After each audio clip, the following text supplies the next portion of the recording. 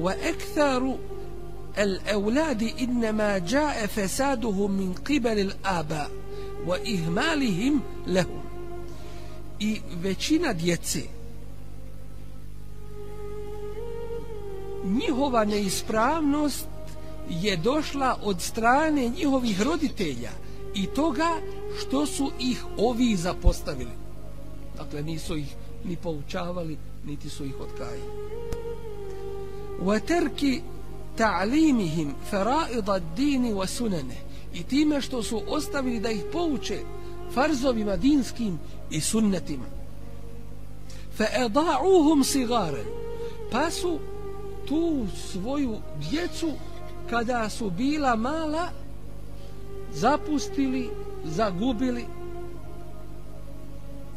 felem jentefi'u bi enfusihim pa ta djeca nisu sama sebi koristila walem, walem jenfa'u aba'ahum kibaren.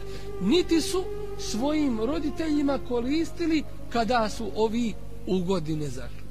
Znači nisi ih odgajao kad su bili mali neće ti koristiti kad uđeš po stare dane u, u godinu. Kema atebe ba'duhum waladahu ala l'uquq kao što su neki uzeli koriti svoju djecu zbog njihove neposlušnosti roditeljima. Pa su govorili ova djeca ja ebeti o oče moj ente akakteni sagiren ti si nepravdu i zlo meni učinio kad sam bio mali. Fe akaktuke kebiren pa sam ja to tebi vradio kad ti ostavio kad si u godini ušao. Jasan govor i otvoren. Zapustio ga kad je bio mali, pa je ovaj zapustio njega kad je bio stari. Kad je djetetu bio terbijet i poučavanje i briga oko njega bila najpotrebnija da se usmjeri u stane roditelja, nije ovaj učinio, e tako ti se vraća još na Dunjaluku kad tebi bude od tvog, rod, od tvog djeteta najpotrebnije vraćati se da neće onda znat za tebe. Fa ada'tani sagiran fa ada'tuka kebiran. Pa tako si ti me napustio kao malog, ja tebe napuštam kao, kao čovjeka u godinama. Isto tako vrlo je lijepo da se citira govor istog ovog učenjaka Ibn Qayyima rahimahullahu ta'ala gdje kaže wa kem men ešqa waladahu wa filzata kebidihi fi dunja wal ahir koliko i koliko je onih koji su svoju djecu nesretnim učinili i na dunjalu koji na ahiretu. Pogledajte toga. Ono što mu je najdraže učinio ga nesretnim i na dunjalu koji na ahiretu. Bi ihmalihi time što ga je zapustio. wa terki ta'dibihi i nije ga odgajao. Wa i'anatihi ala shahawatihi i time što ga je pomagao u njegovim strastima.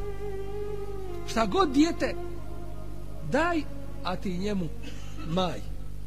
Evo ti. Hoće roditelji da im djeca prožive ono što roditelji nisu proživjeli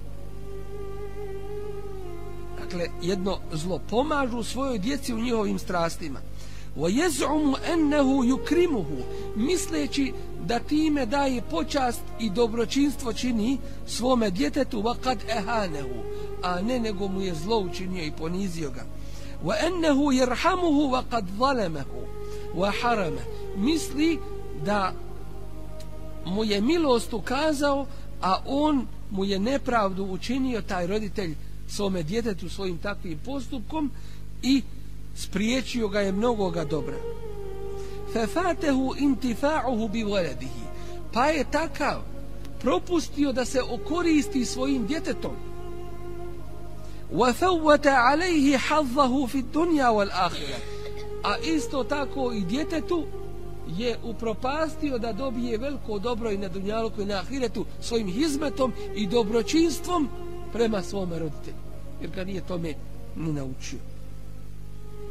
وإذا, ف... وإذا اعتبرت الفساد في الأولاد فقد vidiš nered i neispravnost u djeci ra'ejta ametahu min qibel il aba vidjet ćeš i zapazit ćeš da je većina toga došla od strane roditelja.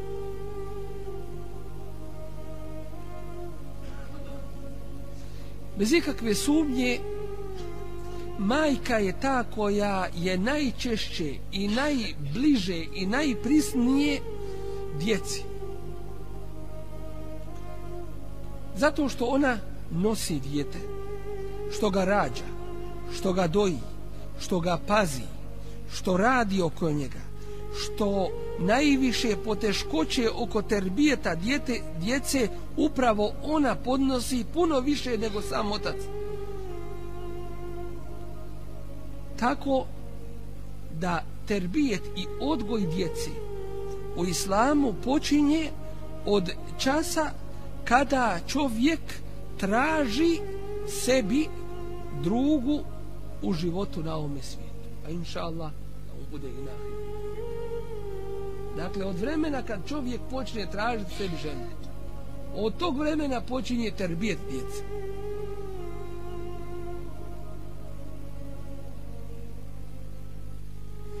Dobra, ispravna žena je sa Allahom te barake wa ta'ala pomoći najbolji pomoćnik čovjeku u podnošenju odgovornosti odgoja djece. Ona ne zaboravlja takva jedna majka i ne smije da zaboravi da pored toga što ga je zadojila mlijekom. Ne zaboravlja da ga zadoji imanom i takvalukom i lijepim ahlakom i ponašanjem i da ga odgoji kako je Allah te bareke ve taala zadovoljan.